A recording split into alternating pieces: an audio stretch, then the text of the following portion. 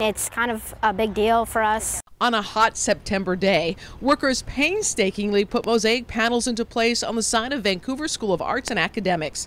The work moves at a snail's pace, but it's nothing compared to the nine years it's taken to get the project this far. I have to admit, I don't know that I'm quite of the, oh, it all happens for a reason, but there's been a lot of benefits, even though it, it was not a journey I would have ever foreseen.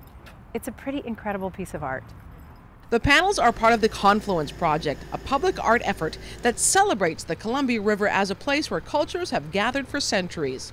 All along the river, from Idaho to the Pacific, local artists made statues, memorials, mosaics, and other art. Finally, VSAA is halfway done with its contribution. You know, we'll pause briefly with it half done and woohoo, and then um, we're going to jump into building the next set of panels. Three of the planned six panels are now up. Part of the reason the project has taken so long is that the panels had to be removable from the building. The project got over the hump with major contributions from community businesses and volunteers.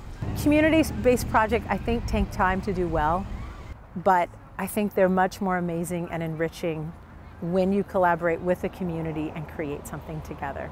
The collaboration doesn't end there. Students and staff designed and built the panels as a team.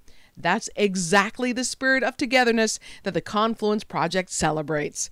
It kind of puts us all together as a community, and we as a school, it's really important for us to be together. I feel like I've done something, a small thing, but that's part of a bigger thing for my school that's going to probably be there for a really long time, and uh, feels really important to me.